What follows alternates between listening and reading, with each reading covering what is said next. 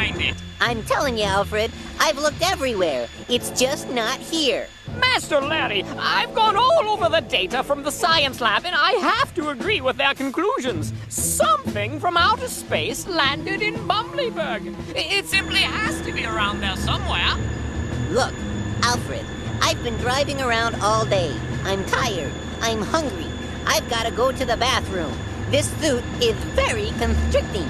I'm coming home now.